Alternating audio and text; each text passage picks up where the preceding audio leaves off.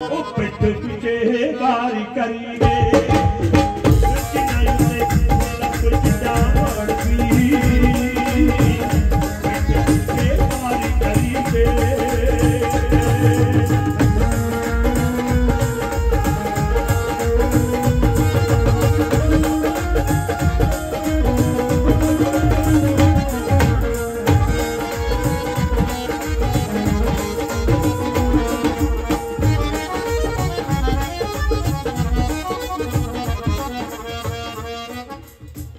ਇਹ ਲੀਕ ਆ ਵੀ ਸਾਡਾ ਭਰਾ।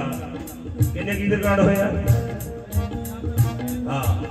ਇਹਦੇ ਨਾਲ ਤੇ ਯੋਗਦਾਨ ਤਾੜੀ ਵੀ ਏ।